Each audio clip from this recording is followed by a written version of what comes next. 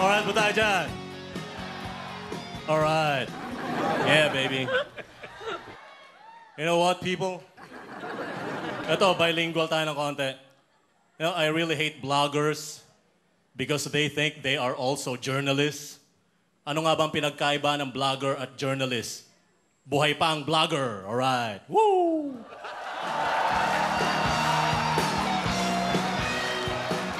As a matter of fact, kaya ako nakatakas kay Ampatuan dati. Sabi ng Ampatuan, Uy, papatayin kita. Sabi ko, wag Ampi, wag! Vlogger only. Alright. Rock and to the world. Woo! One time, nagkaroon ako ng girlfriend. Ah, nagkaroon ako girlfriend na duling. Mahal na mahal ko siya. Pero gabi-gabi, akala niya threesome. Alright! Woo!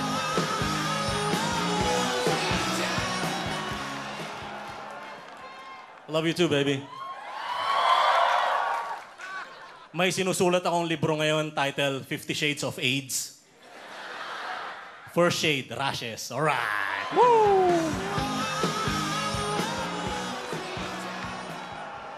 Alam niyo, pag ako'y naglalakad sa mall ah, minsan at nakikita ko isang lalaki, mas maganda yung dala niya kaysa sa akin. Minsan napipikon ako eh.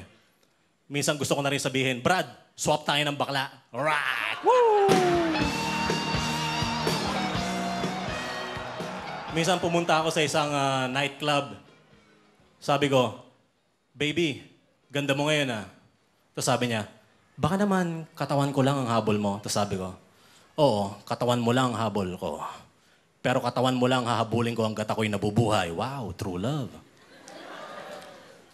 At mula noon, di na ako nagbayad ng table charge. Alright! Woo! Rock and roll to the world. Woo! Alam nyo, nalulungkot ako kapag nakakakita ako ng, um, ng prosti na ma- mahal maningil. Sinasabi ko, ha? Liman libo? Isang gabi? Pitong taon na tayong kasal! Pinababa ko lang tama nyo. Maraming salamat to. Rock and roll to the world! Woo! Thank you. Thank you very much.